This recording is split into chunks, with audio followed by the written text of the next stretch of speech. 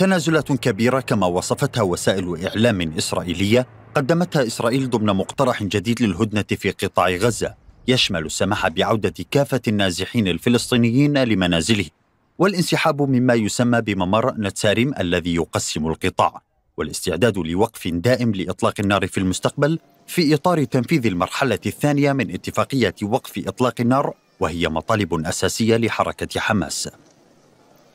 موقع والا العبري نقل عن مسؤول إسرائيلي رفيع أن الاقتراح الجديد تمت صياغته بالاشتراك بين مسؤولي المخابرات المصرية وفريق التفاوض الإسرائيلي ويتضمن استعداد تل أبيب لتقديم المزيد من التنازلات المهمة بما في ذلك الاستعداد لمناقشة استعادة وضع السلم في قطاع غزة بعد تنفيذ المرحلة الأولى والإنسانية من صفقة وقف إطلاق النار.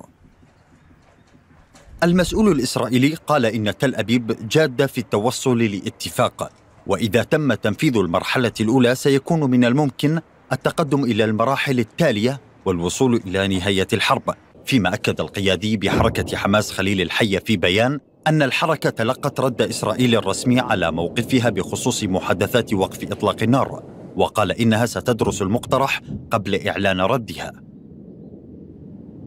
في السياق أعلن وزير الخارجية الإسرائيلي إسرائيل كاتس خلال مقابلة مع القناة الثانية عشر الإسرائيلية استعداد تل أبيب لتعليق الهجوم البري المزمع على مدينة رفح جنوب قطاع غزة. في حال تم التوصل إلى اتفاق للهدنة وإطلاق سراح المحتجزين لدى حركة حماس.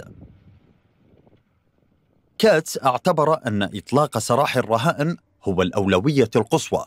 ورد على سؤال عما إذا كان ذلك يشمل تأجيل عملية مزمعة للقضاء على حماس بمدينة رفح بالقول إن العملية في رفح سيتم تعليقها إذا كان هناك اتفاق.